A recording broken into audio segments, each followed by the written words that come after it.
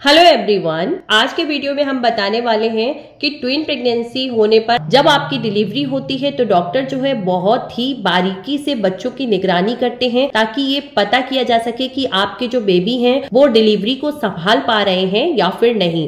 क्योंकि twin pregnancy में ये बहुत ज़्यादा संभावना रहती है, खासकर तब जब डिलीवरी में बहुत अधिक लंबा टाइम लग जाता है तो ऐसे में बच्चा जो है एक या फिर दोनों अचानक से किसी भी प्रॉब्लम में आ सकते हैं।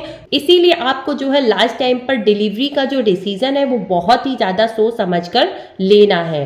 ट्विंस बेबी होने पर जब आप बजाइना से डिलीवरी कराने का प्रयास करती हैं तो ऐसे में बहुत अधिक संभावना होती है। आपको संदंस या सक्सन कप की हेल्प की ज़रूरत होगी। और यह कप जो होता है, वो आपके बेबी को वर्ट कैनाल से बाहर आने में मदद करने के लिए होता है।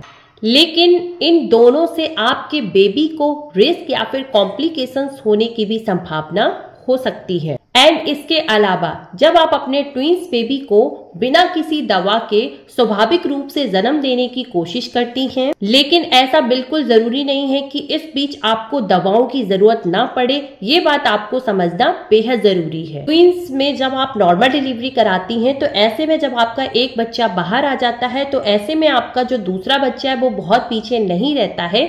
ऐसे भी कुछ उदाहरण है कि एक बच्चे के जन्म के बाद जो है, आपकी डिलीवरी जो है, अपने आप रुक जाती है। तो ऐसे केस में जो है आपके दूसरे बच्चे को बाहर निकालने के लिए दवाओं की आवश्यकता बिल्कुल हो सकती है। ऐसे में जो दवाएँ दी जाती हैं तो उनका अपना बिल्कुल रिस्क हो सकता है। तो इस बारे में आप अपने डॉक्टर से बात ज़रूर करें।